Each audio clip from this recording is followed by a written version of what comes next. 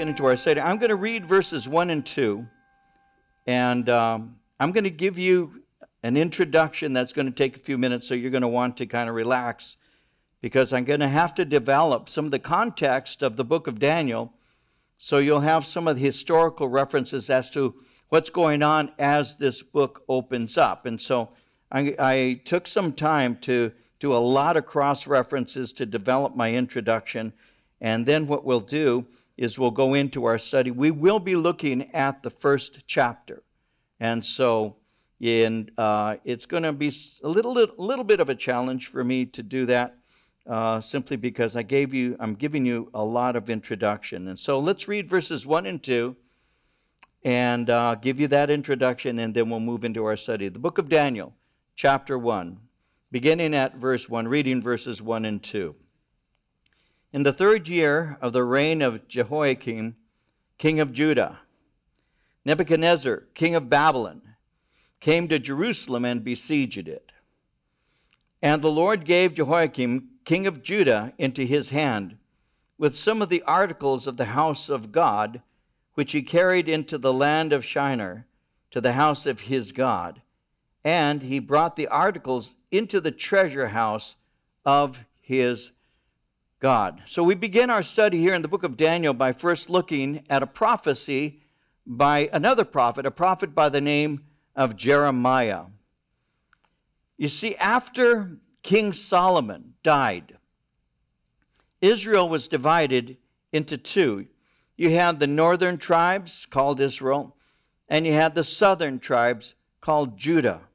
And so it had been divided upon his death. And so the prophet Jeremiah had prophesied concerning a judgment and a 70 year captivity. The prophet Jeremiah prophesied in the years 627 to 580 BC. And in Jeremiah 25, verses 10 and 11, God said, I will take from them the voice of mirth and the voice of gladness, the voice of the bridegroom, the voice of the bride, the sound of the millstones, and the light of the lamp. And this whole land shall be desolation and an astonishment, and these nations shall serve the king of Babylon 70 years. And so God brought judgment. And the reason he did so is because Israel had disregarded his law. God had warned Israel that to ignore his law was to result in judgment. In Second Chronicles chapter 7 verses 19 and 25 he had said, "If you turn away and forsake my statutes and my commandments which I have set before you, and go and serve other gods and worship them, then I will uproot them from my land which I have given them and this house which I have sanctified for my name, I will cast out of my sight, and will make it a proverb and a byword among all peoples. And as for this house which is exalted, everyone who passes by it will be astonished and say, Why has the Lord done thus to this land and this house? And so, in spite of God's warnings, as is common, they ignored him. They did what they desired. They practiced idolatry. And uh, idolatry was that which earmarked the false religions of the pagans. And so in Jeremiah, once again in chapter 2, verse 11, a question was asked Has a nation ever changed its God? Yet they are not gods at all. But my people have exchanged their glorious God for worthless idols. And so the nation of Israel moved into idolatry. And not only did they become idolaters, but they disregarded his command to observe what is called a sabbatical year. In Leviticus 25, verses 3 and 4, it says, For six years sow your fields. For six years prune your vineyards and gather their crops. But in the seventh year, the land is to have a, a Sabbath rest, a Sabbath to the Lord. Do not sow your fields or prune your vineyards. Well, by the time of Daniel, Israel had neglected this sabbatical year for 490 years. And that was what resulted in the judgment of 70 years. And it was 70 years of captivity in the ancient nation of Babylon. Jeremiah 29, verses 10 through 14 says, For thus says the Lord, after 70 years are completed at Babylon, I will visit you and perform my good word toward you and cause you to return to this place. For I know the thoughts that I think toward you, says the Lord, thoughts of peace and not of evil, to give you a future and a hope. Then you will call upon me and go and pray to me, and I will listen to you. You will seek me and find me when you search for me with all your heart. I will be found by you, says the Lord. I will bring you back from your captivity. I will gather you from all the nations and from all the places where I've driven you, says the Lord, and I will bring you to the place from which I caused you to be carried away captive. So, because of their idolatry and rejection of sabbatical law, the seven, they were to rest the land every six years for a full year. It was called the Sabbath rest for the land. They hadn't done that for 490 years by the time of Daniel. What happens is God says, I'm going to give you 70 years. So the land will have its rest. And so that's why they had 70 years of captivity. And so the book of Daniel covers the 70 year period of Babylonian captivity, starting in 605 and, and going to 538 or 536 BC. So it begins with the reign of Nebuchadnezzar, but we're going to see that it concludes with another king by the name of Darius. Now, a little more information. History records that Babylon became a world power by overthrowing Assyria in 612 BC. After overthrowing Nineveh, Babylon became master of the Middle East, defeating the Egyptian armies in 605 BC and invaded Israel and sacked Jerusalem. Now, Babylon actually invaded Israel on three separate occasions. The first was 605, but Babylon did it again in 597 as well as 586 BC. So there were a series of, of invasions and all. And Daniel was taken captive and deported to Babylon in the first invasion. Here's something for you. We're going to see this in detail in just a few moments. But when Daniel was taken captive, it is estimated that Daniel was anywhere from 14 to 16 years of age. So let that sink in your head because we're going to see something in a moment, and I want to show it to you as we look at this in just a moment. Daniel was part of what is called the nobility of Israel. And he and his friends that we'll be introduced to in chapter 1 were part of what was the first group taken. And so in Babylon, we'll see that he held a high government position. But first and foremost, we're going to see in the book of Daniel that Daniel was a prophet. And so, as such, he spoke for God. And Daniel also is the one who wrote the book of Daniel. Now, there are questions of who wrote Daniel, but various times he's identified as the author. You'll see that in chapter 7, 8, 9, 10, and chapter 12. So the book of Daniel was written by Daniel, and as a book, it's divided into two parts. Chapters uh, 1 through 6 are what are called the historical parts. And chapters 7 through 12, we'll see our prophetic. And then, one more thing chapter 1 is written in Hebrew, but from chapter 2, verse 4, into chapter 7, verse 28, it's written in a language called Aramaic.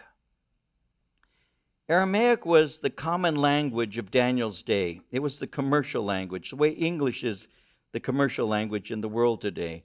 Many people spoke Aramaic. As you go through it, though, you're going to, you know, I'll, i may note this, but there are Greek words that are found. Uh, chapter 3 has a Greek word describing musical instruments, and there are some words that are Persian, but the words are used because what is written is really relating to Gentiles. It returns to Hebrew in chapter 8 because it speaks of Israel in relation to Gentiles.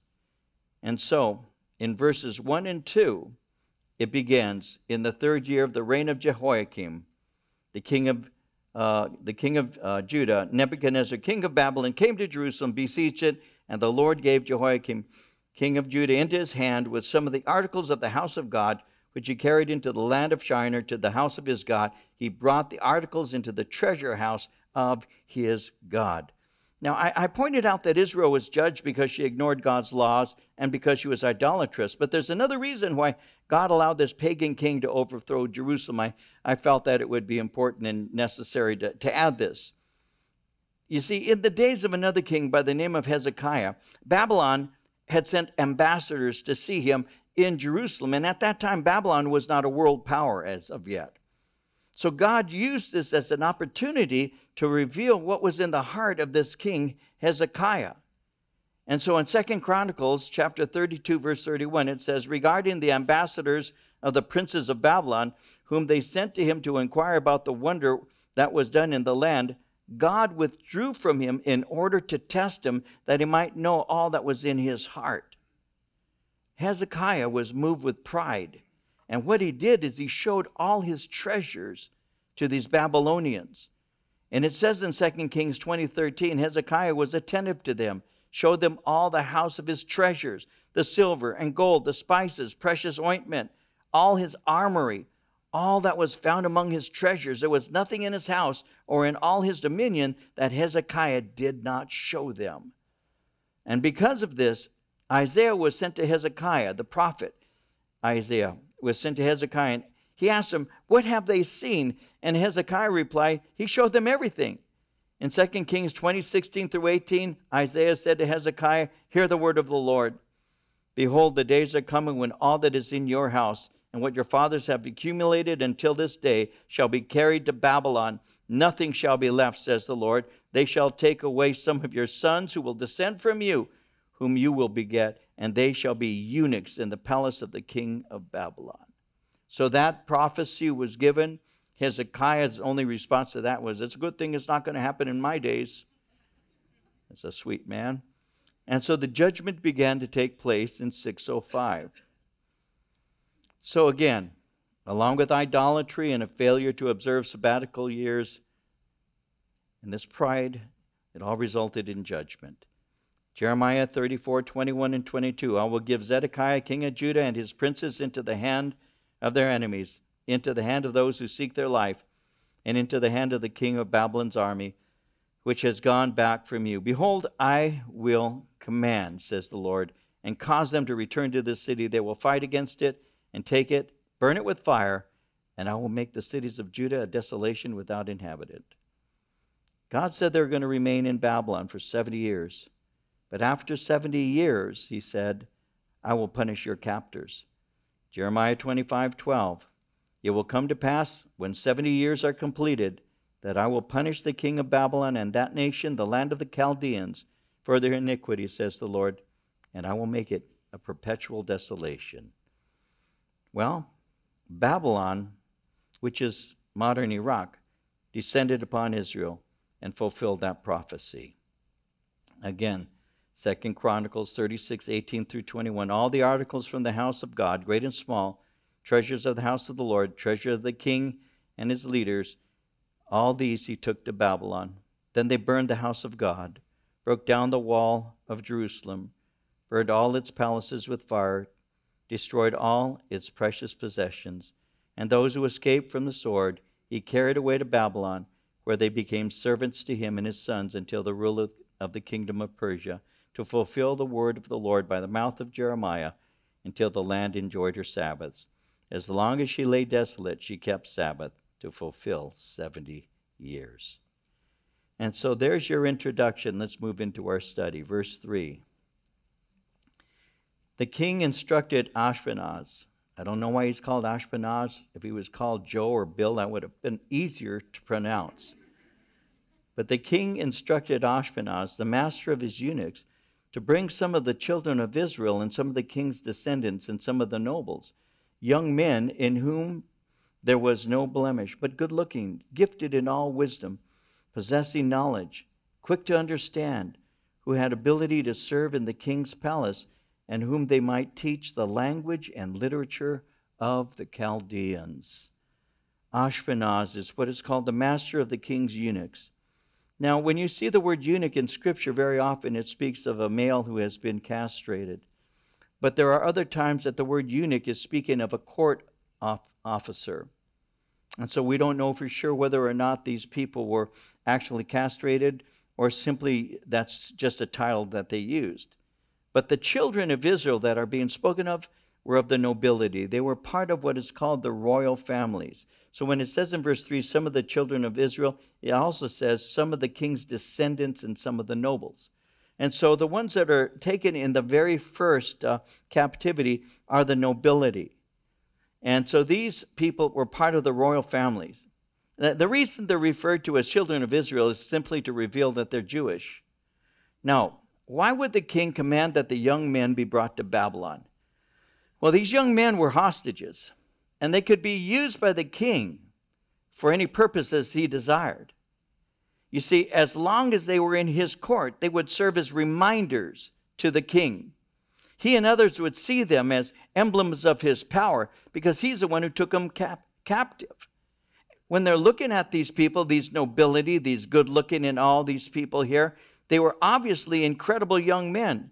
These were men who were probably around, and we'll be seeing that with the, the ones we'll, we'll be looking at in detail in a moment. But as I mentioned, these were the younger people, and they would have been 15 to 20 years of age.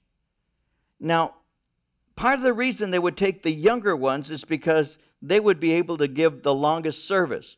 And, and this is where we're going to begin looking at some things that are very practical, they would have been the ones easiest to influence. The younger people, the 14, 15, 16, 18, 19, then, as it's true now, the younger people would have been easier for a king, and we'll see this in a moment, to bring under his, uh, under his rule. They would have been easier to be influenced.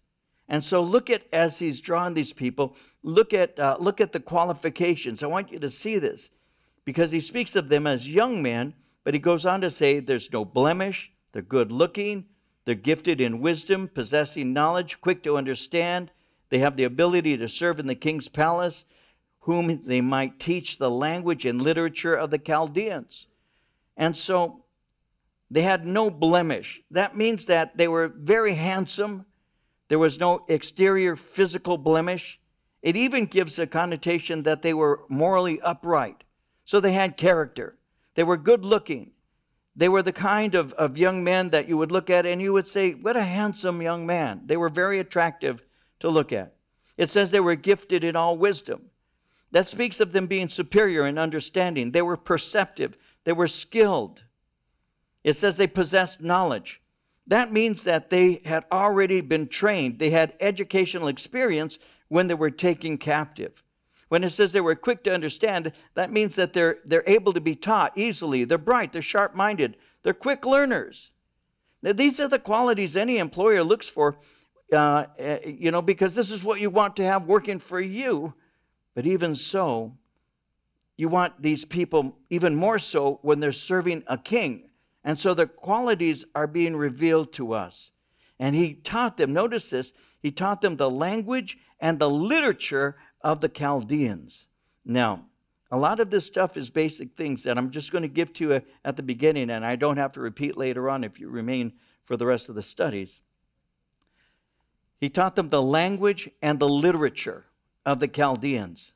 Now, you see the word Chaldean, you also see the land of Shinar, you see the word Babylon. And so in, in many ways, land of Shinar is the land of Babylon. Chaldean can be also used to, to refer to a Babylonian.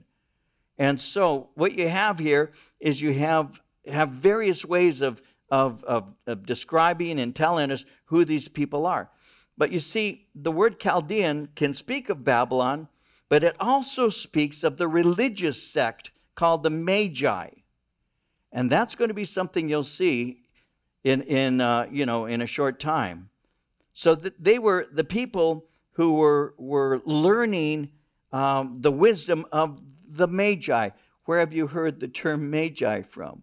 The Magi were the individuals that we see in the Gospel of Luke who were coming to see the newborn king. The Magi were the astrologers of Babylon, of Chaldea.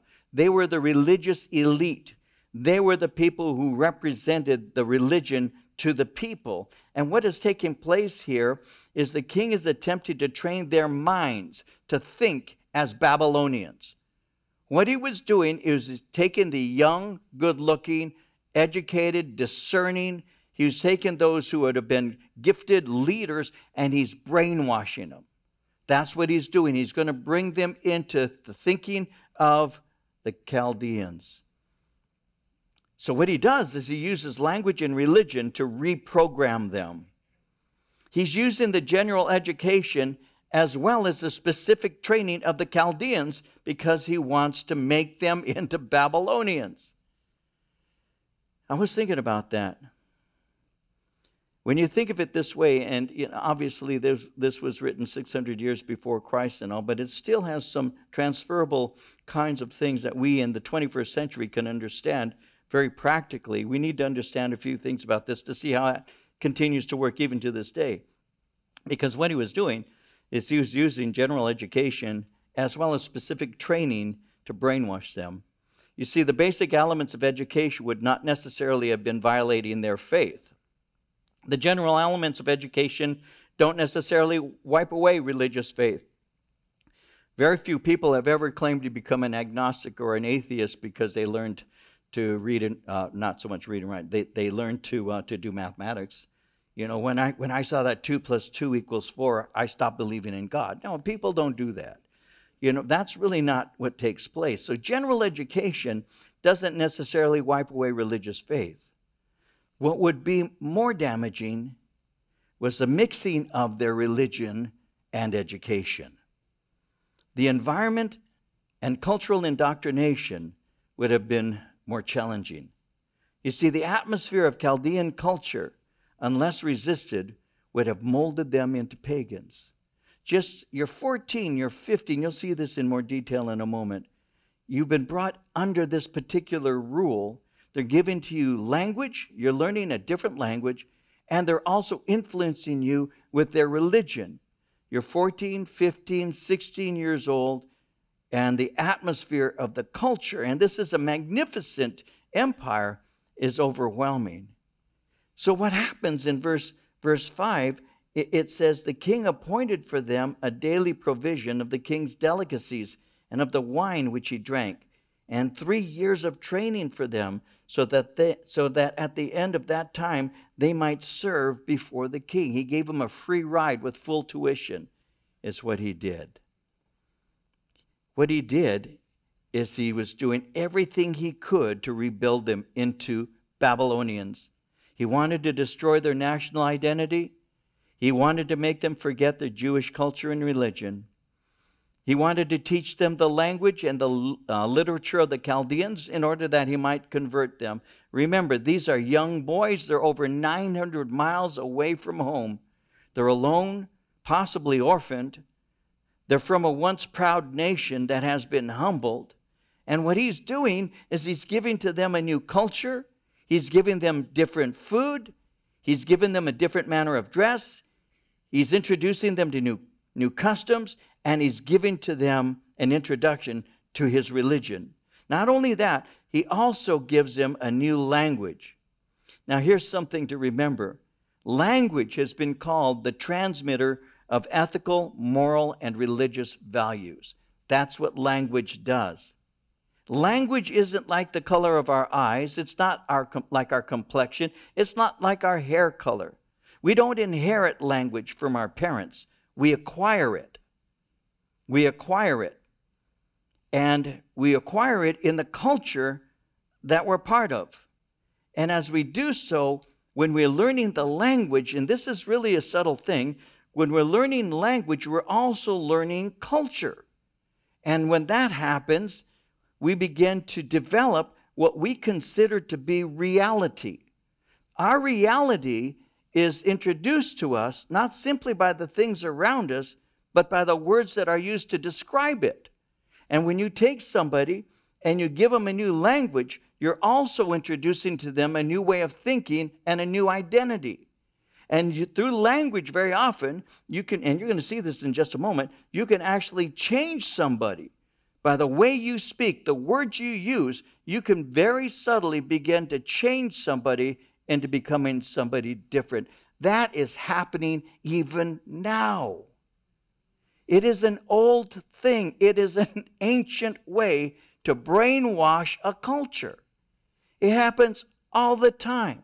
All you have to do is keep using a certain word to describe a certain behavior.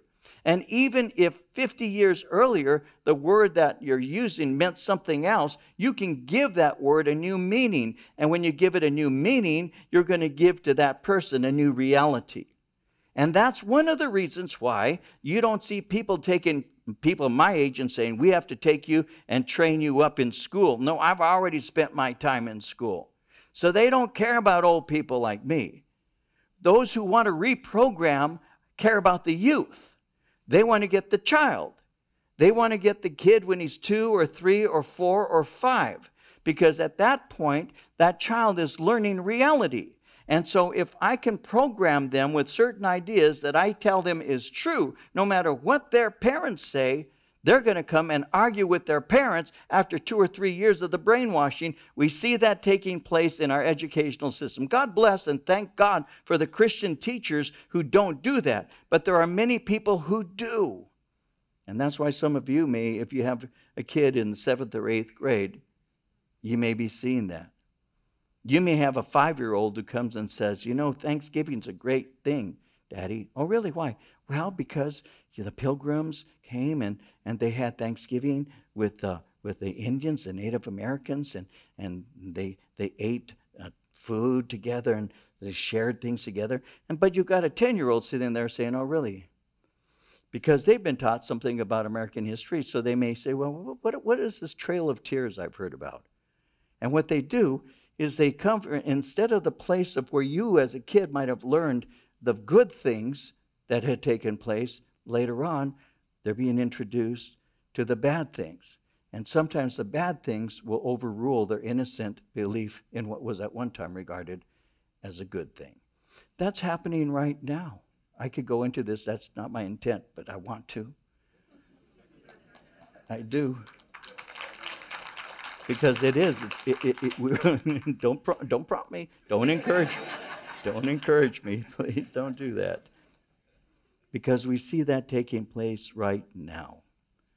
We see that taking place right now. When you have somebody who is saying, "Okay, I'll say a little bit. I'm, it's on my mind." I, but this is. I'm just trying to make a point. What they were doing with these these young people is still being done today.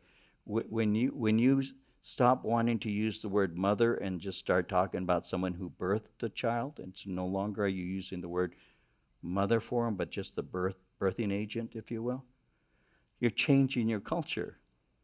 You're changing it. From what used to be a, a blessing, this is a mother. And not only that, I saw something today, perhaps some of you did, where an individual, couple, uh, apparently married, the woman had a um, became transgender. She became she became the man, and the man became the woman, and the one who is referring to herself now as the man gave birth to their baby. And then you see the man who calls himself the mother trying to nurse the baby on his male breast. Anyway, um, and then he says, I have to supplement with uh, formula because I'm not producing milk. And and I'm, I'm, I'm not mocking them. I'm really not. It can appear that I am. I'm trying to find words to say that are charitable, but at the same time, that's what we're dealing with right now because you don't supplement, because supplement simply means you add to something that already was there. He doesn't have breast milk because he's a man. And we used to say, there's a Greek word, duh. you know? But listen, my saying this is hate speech now. Yeah, it's hate speech. I'm not compassionate. And depending on the way you're responding to what I'm saying, that helps you to gauge if you've been brainwashed. That helps you to. Oh, I'm offended. Really? You're a good Babylonian. because that's how they did it. This isn't new. This isn't new. How do I take a generation? Don't worry about the older ones. We don't need them.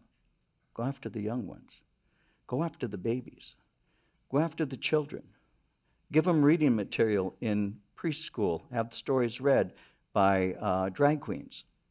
And normalize this so that they see this is just what life is. And then people aren't shocked, upset, when in fact, our children's minds, lives, and faith are being undermined or destroyed. So by the time they go into college, and there's a lot of studies uh, that reveal that the overwhelming majority of uh, professors in public universities are, are um, anti religion, extremely liberal, and uh, it would be really, it's really not even an argument that, that I could lose on that because that's what's taking place. And some of you who have sent your children to college and they come back with these odd ideas, you say, Where'd you get that from? Where did you? Well, my professor was saying, and dad, you're just stupid because now, to be honest with you, when I went to college as a young man, I went to college, came home, argued with my father because obviously dad was an eighth grader in his education. What do you know? I'm going to college now. I know things you don't know. It's the, it's the pride of youth, it's the inexperience in life. It's all of those things that are fostered, and you can be turned in a way you didn't even know you were being turned. And that was being done 600 years before Christ, and it's still being done. And that's what's taking place here. You see, once again, language, by teaching them the literature, the language, those things, that's how you change what they consider as reality. And then he's immersing them in the religious beliefs of Babylon. So, what he's trying to do through his surrogates is he's, he's trying to cause them to forget the God of Israel. He wants them to become Babylonians. Notice in verse 5 how it speaks of their delicacies, the vintage wine, their educational scholarships. They got the three year full ride. They're young, they're impressionable, they're at his mercy. This is the greatest king on the face of the earth. They're in a city of incredible power and beauty. There were the Hanging Gardens of Babylon. The Hanging Gardens of Babylon are, are one of the seven wonders of what is called the ancient world. There were numerous temples, there were parks, there were armaments, there was so much that they're seeing. Babylon itself was about 14 miles square. It had great outer walls that were 87 feet thick. It had 350 foot high uh, walls with 100 great bronze gates in the walls. It had an inner and outer wall, a water moat between the walls that made it secure. You could have four chariots running abreast, or you could have a parade on its top, and they had towers reaching another 100 feet that were on top of that wall. So imagine what a teenage boy was thinking when he saw all of that. This is amazing. Look at the size of this wall. Look how wide it is. Look how high it is. Look at those towers. Look at the gardens. Look at this powerful, majestic king. Look at the wines and the delicacies. And, and it, this is like, this is like, I, I can't even imagine it. It would be like living with the, with the, the multi billionaire who has so much. You walk into the garage and he's got 10 Ferraris and Lamborghinis and you name it. And you say, Boy, you've got 10 cars. He goes, Yeah, in this garage. How many other garages do you have? Oh, I've got 14 garages. You're kidding me. Yeah, well, why don't you come on over? I've got some, some wine, I got some good food. Let's talk about it. And you're 14, you're 15. What do you think's going on? To be invited to be part of something that, like that's enormous in, in its temptation. That's what he's being, they're being invited to. Now, verse 6 From among those of the sons of Judah were Daniel, Hananiah, Mishael, and Azariah. To them, the, the chief of the eunuchs gave names. He gave Daniel the name Belteshazzar. To Hananiah, Shadrach. To Mishael, Meshach. To Azariah, Abednego. So, Daniel. What does Daniel mean? What does the name translate to? The, the name Daniel uh, it speaks about God is my judge. That's what the name Daniel speaks of. You see, all of the names that he gave to them, that they originally had, were names that had meanings. And so, what he was doing is he was changing their names to, uh, to different kinds of names. When he, uh, when he named uh, Hananiah a new name, the new name he gave him was Shadrach. It, that speaks of being the, uh, under the command of the moon god Aku. The name Mishael uh, was changed to Meshach, uh, who is what Aku is, the moon god. And then Azariah was changed to Abednego. which means the servant of Nebo. He changed the names that had given praise and honor to the God of Israel, and he gave them Babylonian names. And uh, the reason he did that is so that these new names would, would give credit to the Babylonian gods who gave them victory over Israel. But again, they were converting, they were, he was trying to convert them, and he gave them Babylonian names. Obviously, your name is your identity. To take away your name is to strip you of your self identity. Think about that for a moment.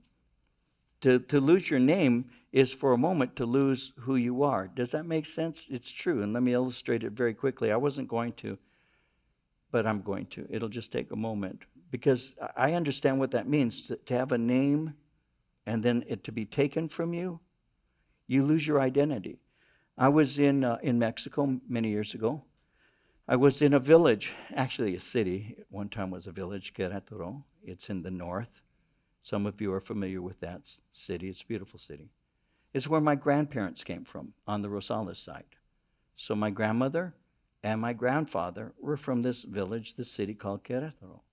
So I had an opportunity to go and to speak at a pastor's conference. And so it was very moving to me because my grandfather died when my mother was pregnant with me, and I knew my grandmother, but I never got to know my grandfather. And so for me to be in the city that my grandfather and grandmother came from, for me was very special. It really was. So even when I shared with the people, I said, I'm in the city and that way, and my grandfather was from it. I, got emotional for a moment. I didn't expect it. It kind of came upon me. I said, I'm in my, my grandfather's city. I said, my grandfather was, a, uh, was an orphan. So was my grandmother. And so I kept, well, afterwards, there's a pastor who's also a historian. He walks up to me and he says, uh, David? And I said, Yeah. He goes, uh, Did you say your grandfather was an orphan? I said, Yes. My grandfather was an orphan. He said, That means your last name isn't Rosales. And I looked at him. I, I, I was stunned. I said, What? He says, Your name's not Rosales. What makes you say that? He says, Because during that day with your grandfather, as an orphan, he would have been adopted by the village priest. The village priest gave the orphans his name. So your last name is not your grandfather's last name. And I, I, I actually reeled. I mean, all these years, that's what. So I came home and I went to my father. I said, Dad, I said, Your name's not Rosales. And my dad says, I don't care. I'm still alive, aren't I? That was my dad. I'm, all, I'm all crushed. He said, I don't care. I'm alive. That was my dad. But I said, don't, You don't understand. I said, I don't know who I am. I don't know who I am. So we have an aunt. Her name is Mary. My Aunt Mary is the family historian. And my aunt says, No, what happened is your grandfather's father had an affair with a woman in town. And your great grandfather was a doctor. And what he did is he gave the child up. The woman gave the child up for adoption, my grandfather. But his father adopted his own son. So she said, No, that's your last name. That is your last name. Now, why did I tell you that? I don't, I just felt like it. because your name is your identity. And to remove your name is to cause you to not know who you are. So to take names that had biblical meanings that actually were praises to God, God is my judge, for example, Daniel, and to change it to Babylonian was to try and steal from them their faith and identity. And so, I better hurry, huh? The sons of Judah are mentioned, but only four are highlighted. And that may be because the other sons of Judah gave in to the temptation. Uh, I'll say this quickly. Ezra records how the Persian king Cyrus permitted those who wanted to return to go home to Israel. The 70 year captivity was concluded, and these people were released. So at that time, in 538 BC, only around 50,000 returned to Israel. That's found in Ezra chapter 2. The rest of the captives had become comfortable. Now, why didn't these people, Daniel, Hananiah, Mishael, and Azariah, why didn't they succumb to the temptation to compromise? The first clue is found in their names. The name Daniel is God is my judge. The name Hananiah means Jehovah is gracious. The name Mishael is, is, uh, is who is he that is God. Azariah is Jehovah has helped. They were trained by godly parents. They laid a strong foundation in their lives, even to the selection of their names. You see, even in the time of Israel growing unbelief, their parents trained them in the ways of God. Judah had sunk into idolatry and disobedience, but the parents had not. And so they raised their children in the knowledge and nurture of God. Daniel was spiritually perceptive, which we already saw in verse 4. But Daniel purposed in his heart that he would not defile himself with the things that the king was offering him, because Daniel was aware that the meat was not kosher, and neither was the wine. And these were foods that had been offered to idols. So when he's offering them these foods and this drink, Daniel, verse 8, purposed that he would not defile himself with a portion of the king's delicacies, nor with the wine which he drank. Therefore he requested of the chief of the eunuchs that he might not defile himself. Now God had brought Daniel into the favor and goodwill of the chief of the eunuchs. And the chief of the eunuchs said to Daniel, I fear my lord the king, who has appointed your food and drink. For why should he see your faces looking worse than the young men who are your age? You would endanger my head before the king. And so Daniel saw this as a as a test of his faithfulness to God because he knew the Babylonian food had been offered to idols. They would be first offered to the devils and then they would consume it. And he said, I will not compromise. So he acted on what he discerned. He was aware of the way Satan tempts. He refuses the food and he refuses the wine because he knew that Satan would use those kinds of traps to get him to compromise and fall. Now, it says in verse 9 that God brought Daniel into the favor and goodwill of the chief of the eunuchs. Well, he was a pleasant young man. He was liked by the official, and he was principled. He wasn't antagonistic, he wasn't confrontational, he was obviously compassionate. Because when it says in verse 10, the chief of the eunuchs said to Daniel, I fear my lord the king, who has appointed your food and drink. Why should he see your faces looking worse than the young men who are your age? Then you would endanger my head before the king. Daniel, verse 11, said to the steward, whom the chief of the eunuchs had set over Daniel, Hananiah, Mishael, and Azariah, Please let your servants for 10 days. Test your servants for 10 days and let them give us vegetables to eat, water to drink. Then let our appearance be examined before you and the appearance of the young men who eat the portion of the king's delicacies, and as you see fit, so deal with your servants. Listen, I want to give to you a compromise. Daniel did not get upset. Daniel didn't push or, or argue with him or get, because a lot of people do that today. When an official tells them do this or don't do that, the first thing they do is they get angry. Daniel didn't do that. Why? Because he had compassion, because he knew that if he actually didn't look good, because again, remember, the, they were young men without blemish, good looking. If they began to look like they were becoming thin and, and not cared for, the, the, the eunuch would lose his head. He knew that the man could die, and that's why he showed compassion to him and didn't push him. He said, Let me just test it. Let us just eat vegetables. And so that's what he does. So, Daniel, in verse 11 through 13, Daniel speaks to the one who's been given immediate charge of caring for him. He spoke to the chief. Now he speaks to the lower official. He asks for a 10 day test, which is a sufficient time to judge without real danger to anyone. They live on vegetables and they drink water. Now, he didn't do this alone. I want to point that out. He wasn't alone, he had a group of believers supporting him. In the book of Hebrews, chapter 10, verses 24 and 25 says, Let us consider one another in order to stir up love and good works, not forsaking the assembling of ourselves together as the manner of some, but exhorting one another, and so much the more as you see the day approaching. He wasn't a lone ranger. He wasn't out there doing his own thing, trying to please God without, without having fellowship with others of the same heart and mind. This is somebody who had relationships, and these other young men, uh, Hananiah, Mishael, and Azariah, they are people that he is, he is with. They're encouraging one another, holding one another up. And so together they make a determination that they're going to do something that pleases God and not compromise by eating of the food that has been offered to idols. And so in verse 14, he consented with them in this matter, tested them 10 days. And at the end of 10 days, their features appeared better and fatter in flesh than all the young men who ate the portion of the king's delicacies. Thus the steward took away their portion of delicacies and the wine that they were to drink and gave them vegetables. So they looked good, they looked fine, they looked healthy. And so that's how it happened. They, they did what was right before the Lord, and they were able to have um, their, their, um, their request without, and they were uh, helped to not compromise. And so, in verse 17, as for these four young men, God gave them knowledge and skill in all the literature and wisdom, and Daniel had understanding in all visions and dreams.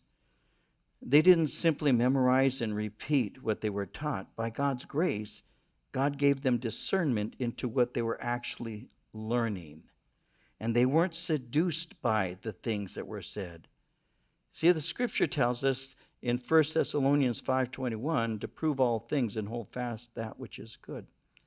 If somebody is in college and your professor is saying to you certain things, there's nothing wrong with learning what he's saying. But the right thing to do is once you've learned the things he's saying, in other words, you have an understanding of it and where he's going with it, then that gives you opportunity to find answers so that you can share with him or her, the professor, why you differ with those things why you don't agree. And no, you don't have to be a, THD or a PhD or a master to do that. You don't. When I was a kid, you know, I was I, I went in the art. I'll say this quickly because I'm watching the time. I really don't say anything quickly. I'm just lying to you. But the only books I really read for years were comic books. From the time I was 15, I was drinking. Time I was 16, I was doing drugs. When I turned 20, I started reading again, started reading books. But I was unsaved. I got saved. When I got saved, I began to try and learn. I started reading various books. I actually read books. I have the book in one hand, this is the truth, and on the table in front of me, I had a dictionary. So when I would find a word I didn't understand, I would open up the dictionary and I started expanding my vocabulary. That's how I began to learn in the army to do that. And so after a couple of years, my mind that had been messed up by smoking as much pot as I did and all, God had begun to heal it, and my memory began to be restored to me. And I went to college. When I went to college, I still didn't know anything. Of course, I'm a freshman. I just in college, I just barely graduated from high school. But I made it my goal to try and learn. And so I went for a year to Biola, but for the next two years I went to other colleges, to secular college. But I was at that time learning to teach the Bible, and so I'd be in a secular college. I went to Cal State Fullerton, I went to Cal Poly Pomona. When I went to school, I would sit in the class, I would listen to the teacher, and then later on, I'd have a conversation on occasion with the professor. I didn't make big issues in the class. I didn't want to argue with him or her. I wanted to tell them what God could do in their life. I was a young believer, a young man. I remember one woman, she had two earned, uh, a master's and two earned doctorates. She was my English professor. What do I know? I can barely write a sentence, let alone discuss these kinds of things with this English professor. I told a friend of mine, I said, You know, I want to tell her about Jesus. But she's so she's a literature professor. She's an English professor. My friend says to me, "You know what, David? Dollars to donuts. She's never read the Bible." I said, "She's got two PhDs and a master's, please." Dollars to donuts. She's never read the Bible. Talk to her. So I did. The next day, I still remember this. I walked out of class with her, and I said, "You know, what you said today reminded me of something I read in the book of Job." She said, "The book of Job?" I said, Yeah. I've never read that book, she said. Gotcha. Gotcha. I have. And so you share. So, so what you do is you, you learn. You hear what they're saying, not to own it as your own, but to find the holes in the argument so that you can present the light and the truth of the gospel. That's what you do. You learn to communicate. It, it's, there's nothing wrong with me knowing what somebody believes. I ought to, because that shows respect for that person. You're not going to be very effective trying to win someone to faith in Christ if you don't respect that person. If that person thinks that you're just trying to win a spiritual scalp, they're not going to talk to you. But when you really do care about them and you want to know what they believe, and then you're not just waiting to lunge on them, and then you share, because they will eventually ask you, Well, what do you think? And then you have a chance to share. This is, well, you know, I'm a Christian, and this is, and I, I did that long before I was pastoring a church. I did that in, in college because I went to seven universities. Not that I graduated, but I went. and I learned a whole lot of things by going to school. I really did, a whole lot of things. And I learned to respect people even if I disagree with them, which I think America needs to remember and relearn because we get mad and we don't even deal with the argument. We're too mad and emotional about it. We need to hear what they're saying. Well, so these people, they did their three years they got their education. But Daniel not only had all of that, but he had understanding and visions and dreams. He had a special grace that God gave to him that went beyond that. And so Daniel was given the ability to interpret dreams, as we're going to see that later on. He was given the ability to discern a true dream from God from simply a dream. And so he's gifted by God's grace. And then finally, at the end of the days, when the king said that they should be brought in. The chief of the eunuchs brought them in before Nebuchadnezzar. The king interviewed them. And among them all, none was found like Daniel, Hananiah, Mishael, and Azariah. Therefore, they served before the king. And in all matters of wisdom and understanding about which the king examined them, he found them ten times better than all the magicians and astrologers who were in all his realm. After the personal interview, he sees they're not only amazing, they're superior. They pass the interview, they're placed in high positions of influence, and Daniel continued serving. And what's interesting is it says this Daniel continued serving until the first year of King Cyrus. It's another way of saying that he served with longevity for many years, even after Babylon fell. And we'll see this under King Cyrus. And so the last thought that I want to close with is when you have a solid rock foundation, you will be secure. In Psalm 119, verse 99, this is a scripture the Lord gave me a long time ago. I have more understanding than all my teachers, for your testimonies are my meditation. So when you go to school or when you're having a conversation with somebody who, who believes something and maybe are well versed in it, if you spend time in the Word of God and you begin to listen to what they're saying and you seek the Lord for answers for the things that are being said, you will be surprised at how you'll have an answer for the questions that they ask. I had a homosexual teacher at Cal Poly. Nice guy, nice guy. Homosexual teacher who taught marriage and family. That's what he taught marriage and family. We were assigned the responsibility of writing a paper on the role of a husband. So I gave a Bible study. I wrote out of Ephesians, these are the things a husband does, this is how it works, these are the ways God has said to do it, and gave him a Bible study. At the end of the, uh, I, I turned it in, I got my paper back, and he put a notation on the top I have never heard this before. I'll never forget that. I have never heard this before. And so after class, he and I took a walk and walked towards his car, and I visited with him, and I shared the gospel of Jesus Christ with him. Where do you get these things from? From the Bible, from the book of Ephesians, chapter 5, from 1 Peter. And these are the things that I've learned. He was a professor, he had an open mind. He wanted to hear where I got this from, and I shared with him. Just look for opportunities. Don't be belligerent. Don't be pushy.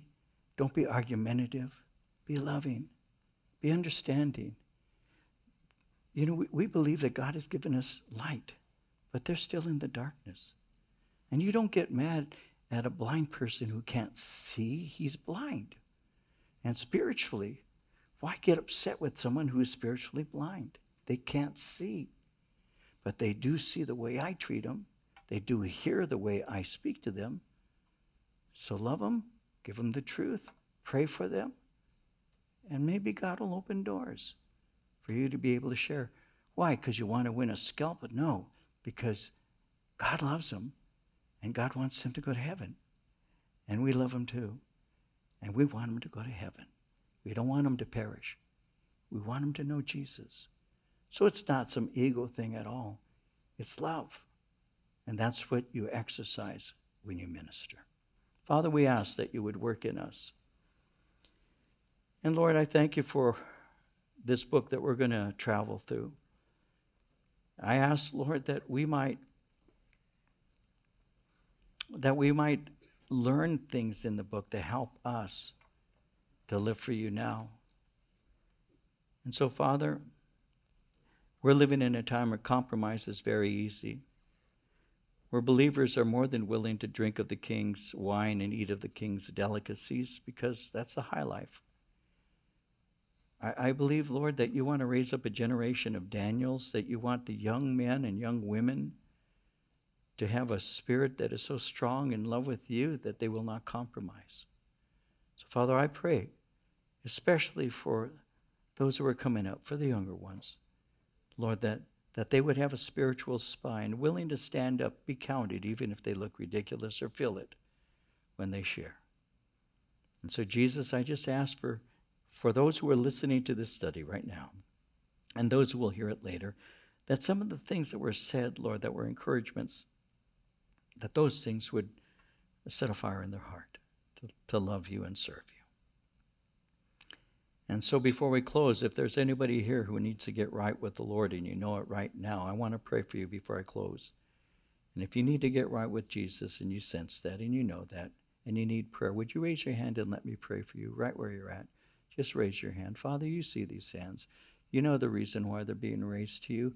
Lord, in Jesus' name, I ask that you would reach down and touch each person whose heart is opening to you right now.